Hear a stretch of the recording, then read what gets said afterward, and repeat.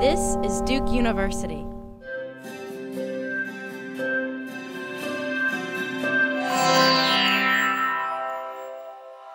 Like distant electrons and other particles of physics, religions as practiced and described are deeply entangled in the, in the complex worlds in which they exist. This is the third of four sessions studying this. I expect that they will it will illustrate the relevant ways that religious traditions and practices, including pre modern traditions, might be studied, as well as how crucial the study of religion is to our time period and to this university.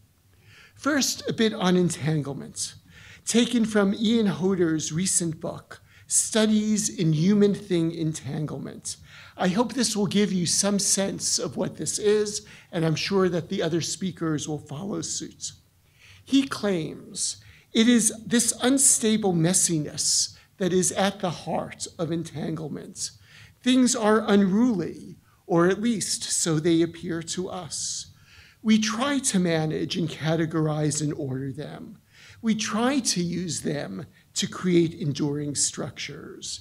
But all of these efforts are continually undermined. How does religion fit into this?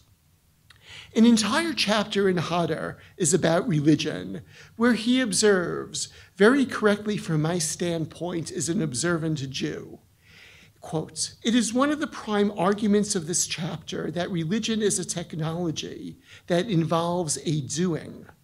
Even in the case of meditation or monastic contemplation, something is done. Even in the case of doctrinal, text based religions, there is a reading or a listening. Religion, as noted above, is not just about belief, but is a practical invention in the world. As a result, materiality is a key component of religious practice. He goes on to offer a new definition of religion and as some of you who've ever tried to teach introduction to religion know, one of the greatest problems in class number one or class numbers one to 25 is defining religion. He suggests religion is fixing entanglements that matter. Thus, I would say entanglement is a crucial, perhaps absolutely necessary lens for studying religion at a secular humanistic religious studies department or a modern center of Jewish studies.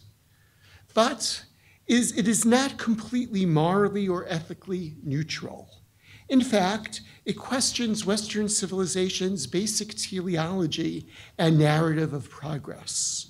As Hodder notes, other accounts of directionality in human affairs have often argued for progress toward higher civilizations. He disagrees. I believe that this is an especially important observation these days, as is his observation that the beginning point of religion is often something is wrong with this world. I hope that this introduction has given you a sense of entanglement and its possibilities as an analytical tool or lens. And I'm sure that our speakers will add to this. I would just say that if any of you are worried that any of us is trying to convert you so let's say, biblical religion or religious practice, worry not. Indeed, one scholar of entanglement Russell McCutcheon titled the last chapter of his recent book, Entanglements Marking Place in the Field of Religion. He called this chapter, The Sacred is the Profane. Our first speaker is Mark Smith, who is the Helena Professor of Old Testament Literature and Exegesis at Princeton Theological Seminary, and Skirball Professor Emeritus of Hebrew Bible and Ancient Near Eastern Studies at New York University. He took his master's degrees from Catholic University of America, great, come on, oh, Harvard Divinity School and Yale University, where he completed his PhD. He subsequently taught at Yale, St. Joseph's, and has served as a visiting professor at the Pontifical Biblical Institute in Rome and the Hebrew University in Jerusalem. He is a two time winner of New York University's Golden Dozen Award for excellence in undergraduate teaching, and similarly, the two time winner of the Frank Moore Cross Award given by the American Schools of Oriental Research for research and publications and a two-time winner, he seems to do everything twice, Mark, of the Mitchell Dahood Prize awarded by the Society of Biblical Literature for research essays. He specialized in, I'm not going to read what you wrote, he's the God guy in, the Hebrew, in reference to the Hebrew Bible. He's written a large number of books and articles about God and other issues, really beginning with a book, first edition in 1990, The Early History of God, and most recently, a year ago, Where the Gods Are Spatial Dimensions of Anthropomorphism in the Biblical World and many other books and articles about God and other beings and non beings in the middle. He'll be speaking about the embodied God of the Hebrew Bible. Please join me in welcoming Mark Smith. Thanks very much, Mark, and thank you for your introduction. It's a pleasure to be here. I almost didn't get here. I went to the airport this morning in Philadelphia, and over half of the flights were canceled and I was very lucky to be able to get out. And I'm very grateful to be here with you today, not the least of the reason being that I could walk outside and enjoy your gardens, which I cannot do in Philadelphia. Um, I had a dream once, use the phrase God guy. I had a dream once in which I, I, I meet God at the pearly gates. And uh, he says, Well, you can come in, but just one thing. And I said, Well, what's that? And he said, God says, uh, You got it all wrong. And, uh, you know, after a certain number of works on this, I, I thought, well, it's, it's, a, it's a salutary lesson because you can never quite get it all right. This is a difficult, ever changing landscape. And I think the fact that I'm even here talking about this is I, I, sort of wish I had thought about entanglement before I wrote my last book. And I think you'll see why shortly. First, a little introduction about uh, entanglement, and then a little presentation about the three bodies of God in the Hebrew Bible. The use of the term entanglement in academic studies is found relatively early in the field of quantum physics, as you've already heard. According to Douglas G. Danforth, it was in 1935 that Erwin Schrödinger coined the term, the phrase entanglement, to describe the seeming non-local interdependency of the, between the parts of a quantum system. Danforth comments, quote, entanglement is defined by coincidence correlations. In recent years, entanglement has come into play in a host of fields, as today's papers will attest, teaching, the one that surprised me as I did my own explorations, teaching and curriculum studies use the term in exploring the question of, quote, the built environment of classrooms and other education spaces to examine how these influence learning. Thus, structures and interrelations of place, task, and social organization become central issues in pedagogy, something uh, professors to keep learning about. In effect, education research has taken what is called in the literature the socio-material turn. In ancient Near Eastern studies, as we've already heard, the famous prehistorian Ian Hodder has used the term entanglement as a way of naming the complex relations between human, humans and things within social network theory. Already a decade ago, Hodder's work names what the term entanglement captures. It is not only a way of naming a vast array of relations, it also represents an effort to avoid a tendency to reductionism in the effort to quantify social relations. And this is Hodder's quote Entanglement is concerned with the full complexities of real world practices. Ian Hodder and his co author Angus Mol note three types of entanglement. First is the large number of relations surrounding any person or thing. The second dimension, the ways these entanglements are organized. And third, what is called the dialect between dependence, that is potential through reliance, and dependency, constraint through reliance. Those are quotations. Entanglement not only conveys complexity and irreducibility, it also connotes, connotes the potential of relations to shifting, sometimes in seemingly unpredictable ways, in ways that are fraught or dangerous, or to go back to the field of physics, relations that appear coincidental. How these fields use the term entanglement is useful for contextualizing the bodies of deities and humans and their interrelations, yet bearing in mind an open ended sensibility. Physics stresses the irregularity that entanglement implies relative to classic quantum physics. So I'm told, not that I know anything about quantum physics.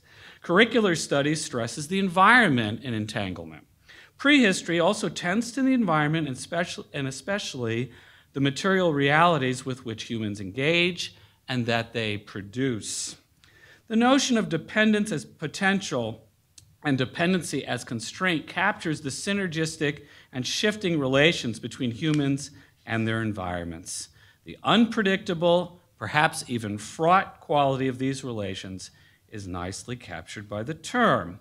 All of these aspects of entanglement are helpful for our efforts to think about human and divine bodies and their interrelations. First, divine bodies are not intelligible apart from their human correlate human bodies, not simply because human bodies are models, but because divine bodies are conceptualized only in terms of their engagement or entanglement with human bodies. Second, the topic of human and divine bodies cannot be isolated from the physical environments in which they come into contact. Put differently, space, place, and the objects in these environments correlate and arguably inform the divine bodies no less than human bodies. These are the forms of organization for human and divine bodies in relation to one another. Third, we need to think about the different sorts of objects that are involved. Do they function primarily as expressions of bodies or as tools of relations between bodies, or what? Fourth, reliance, whether as potential or constraint, captures a fundamental consideration that identity and agency do not reside only in an embodied figure by herself or himself, but also in the complex relations that such a figure may hold with other persons and objects. Now, with these matters in mind, we turn to the central questions posed by today's session. And these were the questions given to me How are divine and human bodies entangled? What are the social implications of sacred notions of physicality and metaphysicality? The first question I'm going to address in the form of recognizing three bodies of God in the Hebrew Bible and the environments with which they are entangled. Answers to the second question about social implications are correlate. You'll see references to social implications along the way. But the issue of metaphysicality is a more complicated matter, in part because the notion of the bodiliness of the deity is itself, in the Hebrew Bible, a moving target. And with this, I'd like to turn to my PowerPoint. So, three types of body, and here they are. There's a human body, in which God appears as a guest in a human home. Second body is a superhuman sized body of God. God is going to be the king in the divine palace, which we think of as temples, which they are, where God is the host to humans. And third body is God, in a sense, beyond either of these kinds of physical spaces. And we'll see more about that momentarily. First body of God is human in scale and form. The divine nature of the deity is not immediately recognizable. The deity is the guest, as I mentioned before. A couple of examples we'll run through a bit quickly. Genesis 18, where Abraham feeds God and two angels, as they are called. Genesis 32, where Jacob wrestles with, uh, with God in Genesis 32. Uh, in the Hosea tradition of the same um, incident, it's an angel. And I list these other two stories not because I, am going to turn all of you into, into uh, scholars of Ugaritic today, although I wouldn't mind that, but just say that this is an old traditional type of uh, entanglement where, where the deities come and visit humans in their homes. The story of Aqhat and Kirta, and sometimes people call these Canaanite stories, which is okay, although they're all always scholars, we, we always argue about everything, so this is one of the things we argue about. But uh, Michael Coogan and his co author did a nice book on this. Uh, uh, sorry, but it still is the best thing for uh, first, first book to look at if you don't you know, know anything about this field as a nice introduction, which was mostly Michael's doing. So let's turn to Genesis 18. Uh, the Lord is said to be one of three men standing near Abraham. So it doesn't tell you anything about scale, but it gives you context. He can stand next to someone, just as I'm, well, you're sitting at this point, and that's going to change. Thank you very much. And, but this is what I think they have in mind. Thank you, Shippo. Uh, the other two are called two angels in 19.1. So our narrator has made explicit what might not have been explicit uh, earlier on so that you can do the math. Three in 18.2, two in 19.1, and that leaves the deity. Abraham offers hospitality, and what I really like is the food. They are served food that they eat. It's actually a meat milk meal. It's, we have an expert on that here in our audience uh, about that sort of issue. But uh, it's interesting that they're eating and they're sitting under a tree. To my mind, then, Genesis 18 is probably the best example of the first body of God, human scale, physical in form, etc. Guest in the human home. Um, I like Genesis 32. It's a very complicated passage. It's difficult to interpret, and I don't intend to simplify, but that's life. Um, but it's also interesting because it's a different kind of entanglement. Um, if they're wrestling with this divine being, then of course it implies a certain scale. And I like, I like wrestling as both a form and expression of entanglement, which is rather different from the relatively uh, different kind of engagement between Abraham and God, which is, which is at in the conversational level, is not simple. I mean, there's a whole conversation which is rather dramatic, but this is a different kind of entanglement with the deity. Um, this entanglement is also given a kind of labeling about its meaning, uh, referring to the past, but I think it also implies who it's with Jacob, and Jacob, of course, is Israel. And I don't think it's only emblematic of the past, even though the verbs are in the past in Hebrew, but also um, of, implies what Israel is going to be facing in the world uh, to struggle with God and humans. Um, and finally, the speaker says, I've seen God face to face, which is elsewhere might not be as physical, but in this context, I think it rather is. Uh, the second body of God is superhuman in size. It's not physical in the same way as the first body. It's rather luminous or fiery, or consists of kavod, which we always translate glory, although I don't really like the translation glory. It's the palpable presence of the deity that's recognizable in some sort of way, and it can fly around and so on, which is a little different from the first body of God that uses the mode of human locomotion. This body is experienced, the second body of God is experienced at temples. So I often, I sometimes call the second body of God the liturgical body of God because uh, the temple is the palace of this divine king. Um, and conceptually, this is thought of as being on top of the mountain of the deity, which is a very common concept in this part of the world. Um, and we have a lot of uh, passages in the Bible that reference this notion. Um, the divine king takes up a throne following defeat of enemies in battle, whether that's the cosmic sea or waters or human enemies.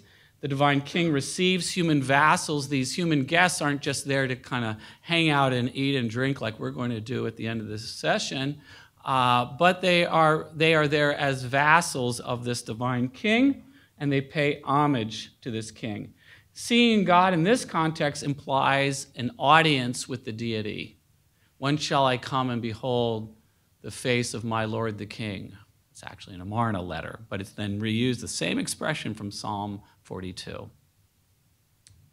And then the question of seeing God or having this audience is a question of does it, it, does it reflect favor from the deity or lack of favor is sort of a question, and this, in a way, is the nature of entanglement in ritual.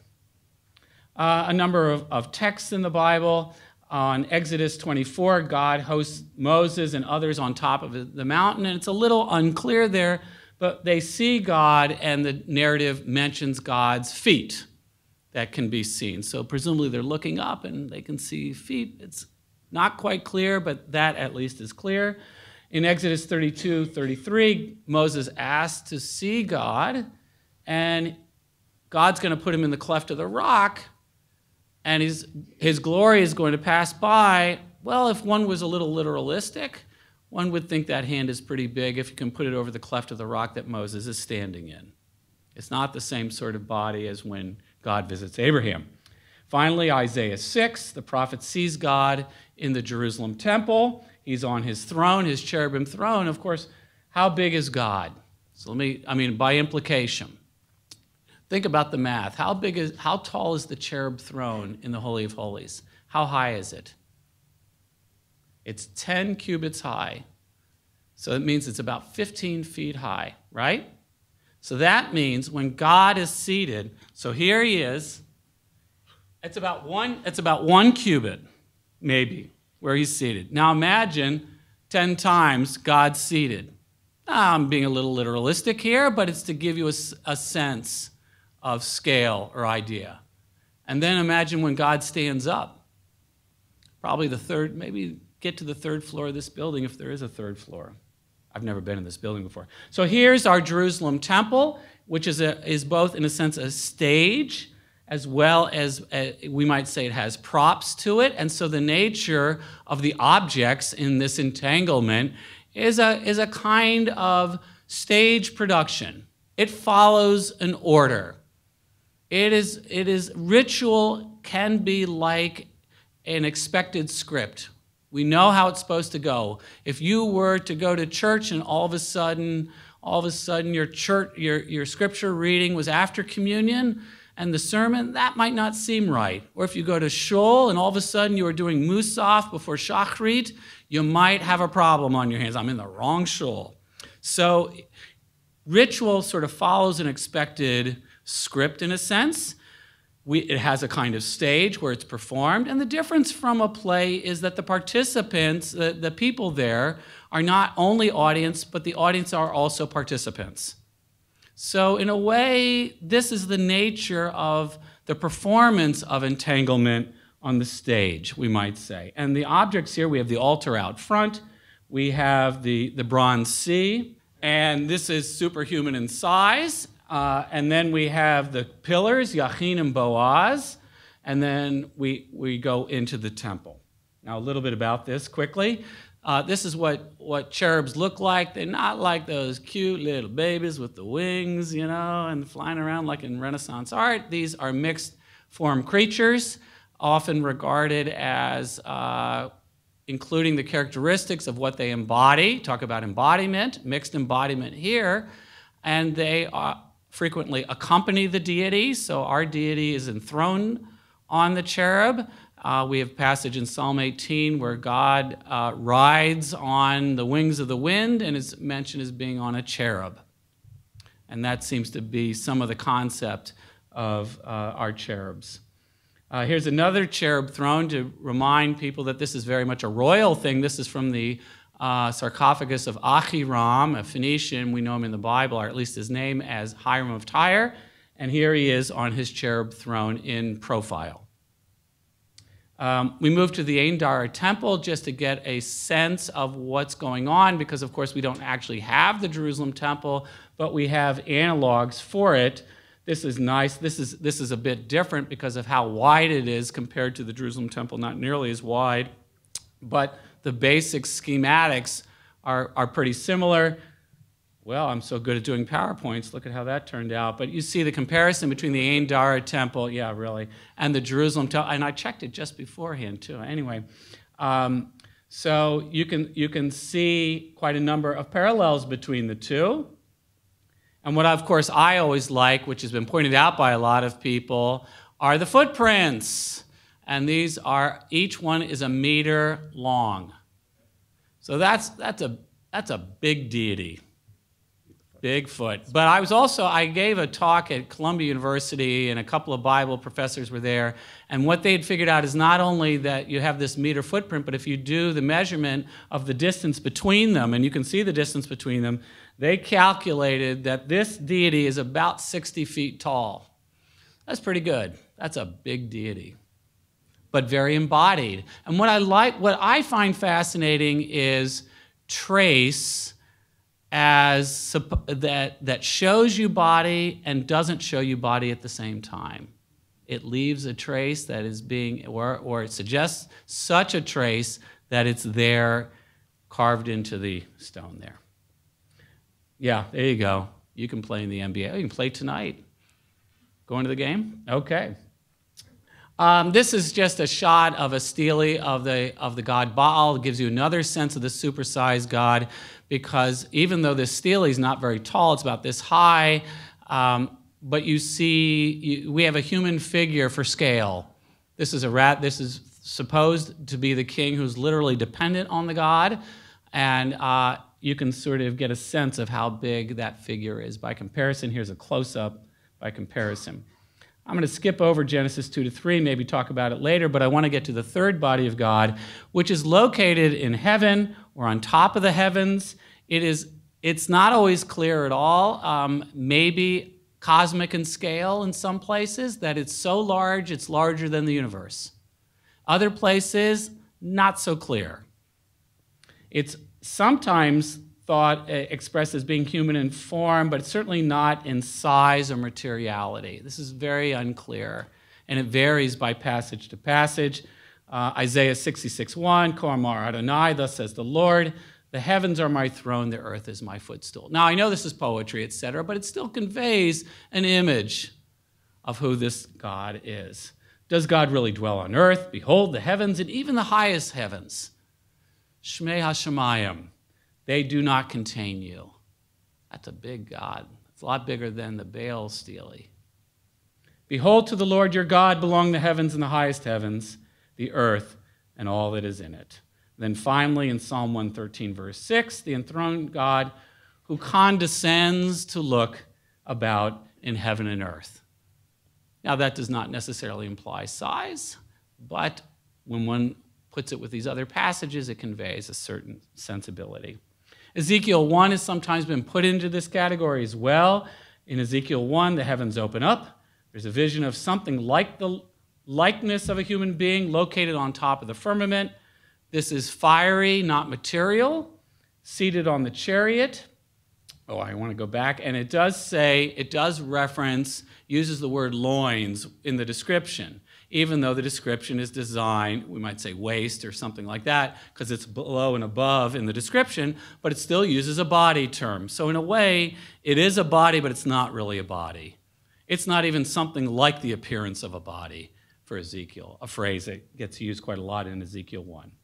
In Daniel 7, we have the Ancient of Days who takes up the throne to sit in judgment. The throne is fiery, the wheels are burning with fire, and the body is fiery. A stream of fire issued and flowed from his presence. There are other examples, but I'll not, I'll not go over those with you just to realize that these are not the only passages. But what's interesting for me is that it's the third body, in a sense, that overtakes the other two bodies. Certainly, the first body is eclipsed. Uh, it only occurs in Genesis, as far as I know. Perhaps even the authors of the Bible thought that this was only something that happened in the distant past. And after Genesis, this doesn't happen. And if someone shows up at your home the way that they did in Genesis, it's an angel, it's not God, as in Judges chapter 6, Judges chapter 13. Um, the second body, it's a little ambiguous because, of course, as we see in later art, we're going to have rather human sized body even in the cosmic situation. So it's not entirely clear. I take Michelangelo as one of my most important biblical sources. And if you go to Rome soon, when you see this, you will believe me when you see this. Uh, the Vermeer judgment scene, again, oh, I cut off God's head. I'm going to get in a lot of trouble. Um, the enthroned figure there, I'm sorry. Um, but you get the idea that these later, these later uh, painters are still using the second, uh, maybe even the first size body almost, but in the third body context. Finally, I, you have to include the Ancient of Days from Blake, wonderful piece. So um, I'm going to end with just a series of questions, which is the question of metaphysicality would suggest that I'm a philosopher in a way, and I'm not. Uh, but I have thought about these things, and to my mind, part of what the third body says is that God transcends a bodily condition. Secondly, we're being told elsewhere that God is not human, and of course, seeing God is problematized, well, not only in Deuteronomy 4:15, but elsewhere. So clearly, making it problematic is itself a kind of statement about the elusive quality that God is not reducible in any sense to bodies in any conventional sense. Our entanglements with God, in a sense, defy uh, bodily condition. Ah, these are simply a bunch of quotes of later church writers who, who debunked. They were saying God doesn't have a body. My favorite is Arnobius because he says, Divine bodies do not eat the food of men. That's a quote. Uh, I don't think he had reviewed Genesis 18 very quickly. Um, if at all, we have the same tradition, the same sort of viewpoint, a little different uh, in Jewish writers, even modern rationalists. But this is a new topic, uh, elevated most especially by Benjamin Sommer in his book, with others responding or contributing. And I welcome you to learn about divine bodies and their entanglement. Thank you very much. Well, I'm happy to take questions, especially for the things I skipped. Well, tell us about Zechariah. We have a Ze- we have a couple Zechariah experts. When the Mount of Olives opens up, guess who pops out? The jolly green giant. Yeah, that's the superhuman warrior god in, in Zechariah 14. And commonly, with the second body of God, it's often a warrior figure. And so that's right in keeping with that superhuman body. And of course, he's on the mountain. So the whole typology of the warrior coming to the mountain or being on the mountain manifest as either warrior or king. Every time you say, not every time, but many times in, in Hebrew Bible, when you're thinking king, human, uh, divine king, that's a divine warrior king. And that's a perfectly good. We have a follow up, Senator? Yes, um, no, it's, it's about post biblical representations. Um, you have in, in synagogue mosaics, you have the hand of God Right. in Beit Alpha. Right. That's a great example. And also all the, the, the some of the heat, some of the zodiac mosaics have the body of God and, and some don't, but they're on a fiery chariot. Right, So that- right. No, that continues as well. Dora. Uh, Jack? If you're in post-biblical time, you have the Shiur Komah that gives you exactly the size of every part of God. Oh, you have it there. Every part, you know, even his uh, genitals, they how. So if you want to read up on, I, I, I, I skipped the genitals passage there when I was reading through, but that is a huge, huge God. My, and the person who introduced that to me was my teacher, Marvin Pope, who took his, who took his uh, degrees at this university a while ago and entered Yale in the PhD program in 1939. Um, Man, he's the one who pointed out the Shiur Komah to me and some of this other literature, and it's now been a lot of work has been done on it in the last uh, couple of decades. Uh, I ran across an article by Wesley Williams where he makes a kind of argument. I don't really, I'm not really familiar with this literature, but he has a piece on early Islam where he also think talks this way a little bit about transcendent anthropomorphism, which itself is a kind of interesting phrase. He actually picks the phrase up from Ron Hendel in Biblical Studies. Just on that thing of transcendent anthropomorphism in Islam, a lot of it goes back to the same biblical thing about uh, it's Muhammad, not Moses, who wants to see God, and God says, "You can't see me." Uh-huh, Therefore, uh-huh. he's he's somewhere there, but he's transcended, so you don't get a shot at him, not face to face. Yeah. Not surprising. Yeah. Yeah. Yes, please. Uh, uh, You mentioned about the cherubim being mixed body Yeah. types, so uh, what, what is that? What is that about? So, um, people who work on that will tell you that you have the human head, so human capacities, including intelligence, the the body of a lion for the power of animal body, physical ferocity, etc., and then the eagle's wings on on.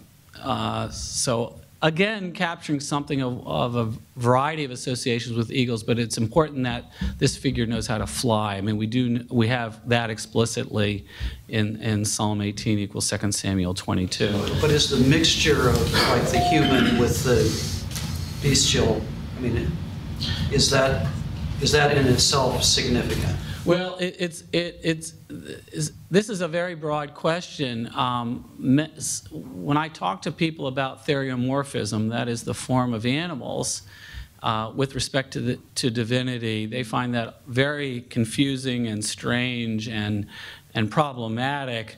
And anthropomorphism strikes them as what they're sort of used to.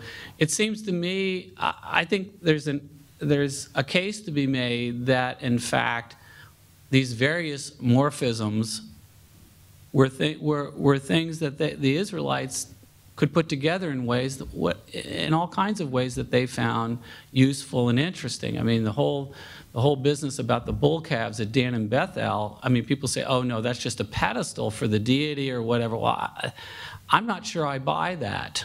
Um, I think I think that I could imagine at least that, uh, and I mean, this is something that's, you know, kind of a um, more of an educated guess at best. But I think that when you see the deity standing on the bull or bull calf, that's the deity in in in in, in uh, bifocals. It's the anthropomorphic form on top of the animal form on bo- on bottom, but. So I'm not sure that this pedestal idea is, is necessarily right. Um, but in any case, they also have the form of the bull or bull calf without. And El himself in Ugaritic is called Bull El My Father. And God is referenced in Numbers 23 and Numbers 24. It's actually the same verse with a slightly different grammatical form that he has horns like the horns of a Re'emim, like the horns of Re'emim. So this, this, this is not a pedestal, this is description of the deity. So theriomorphism is something that I think they're more at home with than maybe we are. Look, it's farm culture. You know, they, they're, they're down on the farm. So it doesn't, I'm not surprised that that's the case. But we also have lots of other animals, as we, some people call them emblem animals of various deities. So Anat, the great goddess, the warrior goddess of Canaanite mythology, Ugaritic, she's, she is a bird. Now, whether she's a, whether she, what kind of bird exactly is not always entirely clear. Um, Athtart, Astarte, as most of us know her, is described as a lioness and a panther in a hymn that was that was only discovered in 1998, I think. So, um, you know, emblem animals for deities is something that is quite at home in the Near Eastern context. Uh, yes, please. Um, this may or may not be two questions, depending how you answer the first one. Um, I'm wondering if you found a noticeable difference in personality between these figures, and I'm also wondering if you think there are any implications um, in these three different bodies to monotheism. Yeah. Uh, those are two questions, and maybe more. Um, the first question is that when the deity comes to the human person's home, I think that the traditional or stock expectation is that the deity is there to give you something. It's good. So in the in in in the Ugaritic stories where we see this, one is a wedding blessing, the other is the gift of a bow. I mean, it's a really great bow, believe me. It's made by the divine craftsman, so it's a really great bow and arrows. Okay, it becomes fraught later on in the story, but in those two contexts, I think the idea of the deity coming to your home is to give you something that's good, and of course, something good does come out of God's visit to uh, Abraham and Sarah. In fact, he, predicts that in a year she's going to have a kid. So this is this is the gift we might say in in that context. So it's a good thing. When I, I think that when you go to the temple. Um, the main thing really is that humans are paying homage to a divine king and warrior, and it is it comes with the attitude of a vassal to the, to the great sovereign. And so the asymmetry runs in the other direction, where the divine king is the, is, is the powerful figure. And it is, it is, I mean, you bow down to this figure. I mean, this is our language of prayer. When you think of prayer and bowing down and so on, this is the etiquette of visiting a king. And this is the divine king. So the attitude there works a little differently. With, in the case of the third body, we're really moving uh, out of two traditional bodies. Both are traditional. The first two bodies are, are very well established in pre biblical literature, and they seem to be very at home in, um, in early biblical material as, as much as we have it. The third body is not. So this is sort of a slight shift to your third uh, to your second question. Um, the uh, people who have worked on Ezekiel, um, so two sets of scholars, Baruch Halpern in one work, and then Christoph Uehlinger, um, Suzanne, I forgot her last name, Trufaut? Yeah. Yeah, yeah, yeah. So they, they, what they have done is they have compared examples of Ezekiel, with Ezekiel 1, they compare examples where there are these figures holding up the firmament with the God enthroned on top. And these are primarily, if I recall correctly, Neo Babylonian. Now, this is nice because it sort of fits the time, roughly, of Ezekiel 1. You do not find this as a traditional representation in earlier biblical material, and they put a great deal of weight on this particular time for the appearance of this image, and they tie it to other phenomena, astronomical developments, and so on. And they argue then that this is an import, unlike the first two bodies, which are at home in the Levantine world, the West Semitic world, Canaanite Israelite world, this third body would be, in, in a sense, an import from Mesopotamia in this period. And for many of us who work on monotheism, this is also roughly the time of the development of at least the appearance of explicit monotheistic statements and representations in the Bible. Now, monotheism is a hugely complicated whole discussion unto itself, but I am of the mind that in the 7th, 6th centuries, when you really are seeing these kinds of statements, unlike in the Ten Commandments, you have oh, other gods before you. Well, if you have other God, don't have other gods before it doesn't sound so monotheistic. Or in Ezekiel 15, uh, Exodus 15:11, "Michamocha ba'elim Adonai," who's like you among the gods, O Lord, is not the same as saying, "There is no God but so and so," or alone. And that seems to me, certainly the vast bulk of those are starting the 7th, 6th century and later. So that might be viewed as sort of correlating, dovetail, whatever is the right understanding. I hate to use causal language because we don't know enough to use causal language generally, but I think that they go together. Uh, you've had your hand up for a while. Yes, please. Excuse me. I was actually wondering if we could go back to Genesis 2 and 3. That was my burning question uh, throughout your presentation. Um, because uh, in those stories, well, you know, Gary Larson has uh, pictures uh, in the Far Side comics of these Which stories. is one of my primary sources. Right, right. Where you where where you see the jumbo-sized God versus the, the little humans. But as I recall, uh, looking at it closely, as I recall, there really isn't an emphasis on scale in those Yeah. stories. There's much more of an emphasis on on God's hands and His breath and the soil from which the uh, humans are made. And I was wondering if you could uh, comment why on this in this first story of human divine entanglement there really isn't the same kind of emphasis on scale that you're identifying in some of these these other places in the in the text. Yeah, I've struggled with Genesis two to three. When I first when I first worked on this, I had I had the body of God uh, in this passage in my first category, because you you know it looks like God's walking and talking and, and all this sort of thing, and then I began to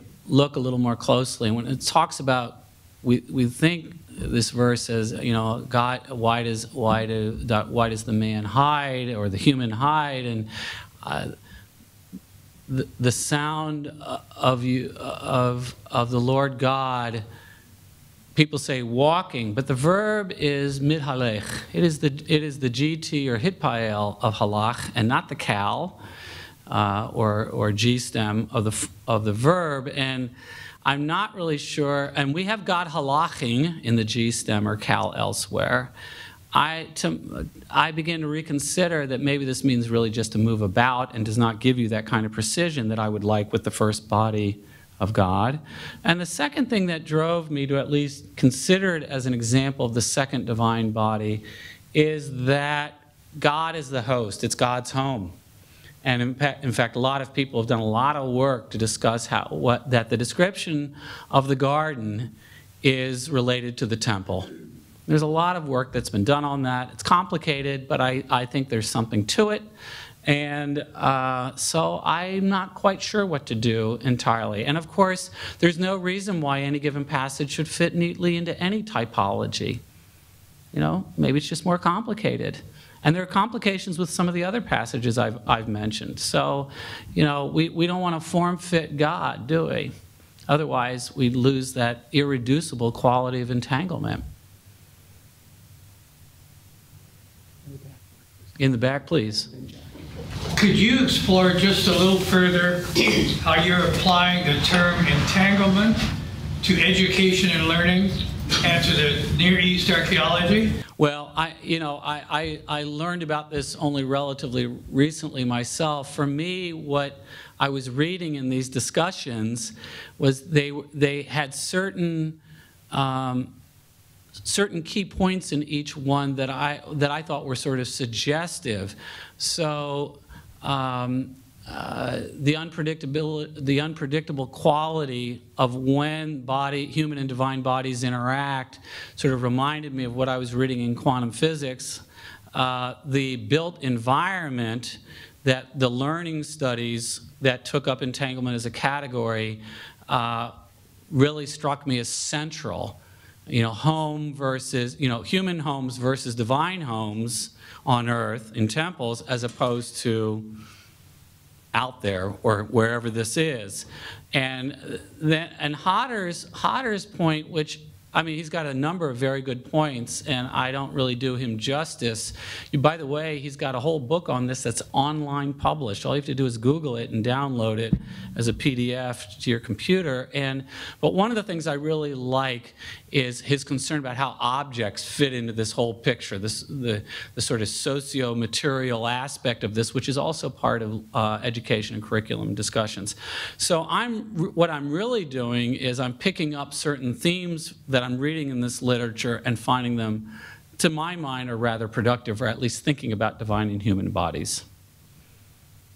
Jack, you had another question? Uh, I just wanted to point out that uh, when you come to material other than literary, let's say of the hundreds of letters that I have read from Mesopotamia, I don't ever recall anyone saying, and when God came to see me, that is the reality is very strong, that it's not something that you cross.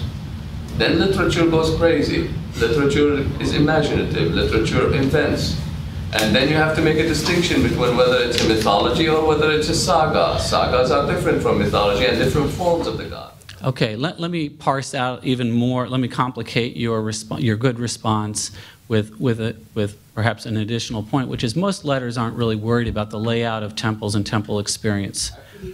Well, not, um, well, they may cover them, but they, they're, how much, they're talking about the experience of God in the temples.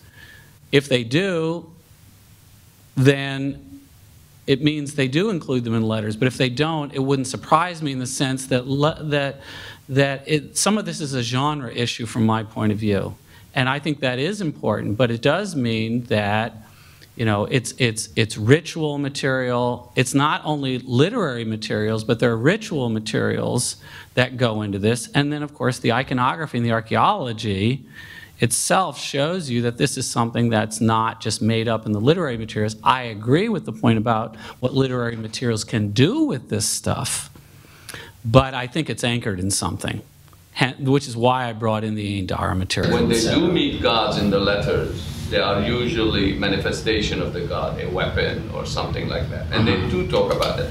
Which Do they talk about it in the temples? They talk about them bringing them out from the temple and doing all sorts of things with them for fields, for measuring, and all sorts of things with them. The problem is you don't get them being so highfalutin as our literary characters are making notion about size of the god or non-size. You No, have but the point, but, but, but it's anchored in something. You wouldn't have this thing at Ain Dara if it weren't. So it, it just strikes me that it's not just, I mean, it is, it is a pro, it is, the literary material is a product of imagination about these things, but so is the archaeological material and the iconography. Ain Dara is no different than Blake. When you look at Blake and you see a God, you're not thinking that this is what he thinks God is, but he's trying to give you a sense of this potentially incredible thing measuring something, right? So, I mean, it's, it's a different form of vocabulary. So, okay, that's it. Thank you very much. You're welcome. Thank, No, you always have good things to say, Jack. Thank you. and thank you very much. Thank you. Produced by Duke University. Online at duke.edu.